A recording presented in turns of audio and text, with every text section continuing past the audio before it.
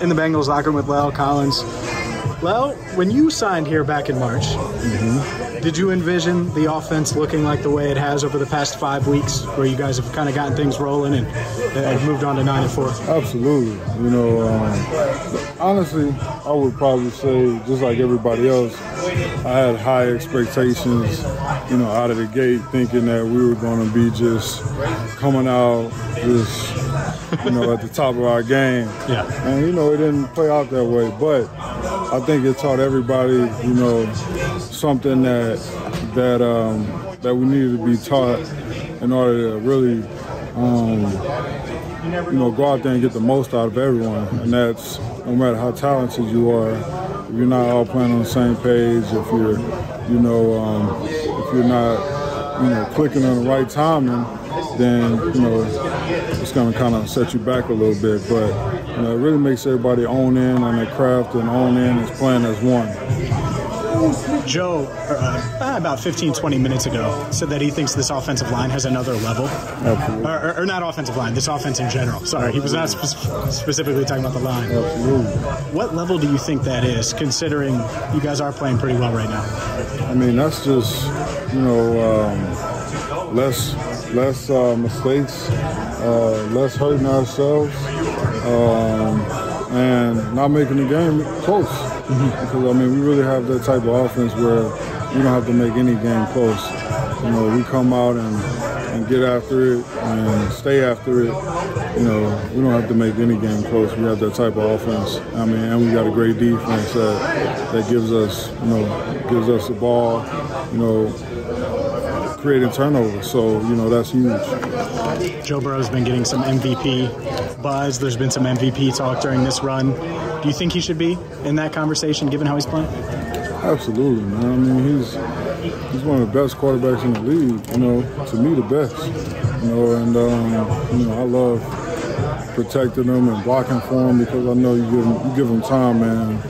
That guy can he can do some special things. What makes him special? What just and, and has anything? Because you knew he was talented, obviously, when you signed here. And has anything surprised you about him now that you've gotten to know him a little bit in and I think him? he's everything that I thought he was. You know, um, a winner, a competitor, um, a tough guy, um, mentally and physically, um, and a selfless guy. You know, he's he's super dialed in each and every week. Um, he makes the throws that you know a lot of quarterbacks can't make and you know he, sees the game at another level. And to be that young and to be where he is, I mean, and he's not even scratching the surface on how good he can really be. Offensive line wise, how is your rapport now with these guys versus five, six weeks ago?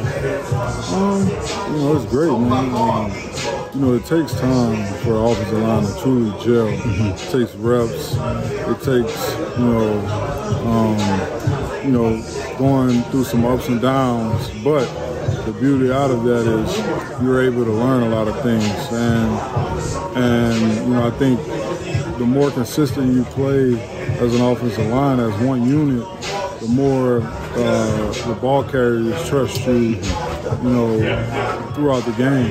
They know where you're going to be. They know what type of guy you are. I mean, we have guys that, just play hard and play physical, and um, I think that that's our identity. Physically, a lot has been talked about, of course. Uh, How do you feel at this stage of the season? I know everyone has their, their bumps and bruises, but you've been able to play through it. How do you feel right now? You know, I mean, I feel I feel good, man. I feel blessed, honestly, man. Just to even be at this point right now. I mean, my whole my goal is to, to play every game, and um, you know, I just feel like that to me, you know, reestablishes where I am as a as a player and as an athlete because.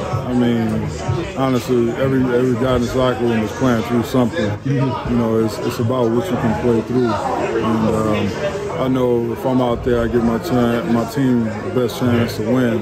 So, I mean, if I can walk, I'm gonna play. Well, I appreciate the time. Good luck in Tampa. Thank you. Appreciate it.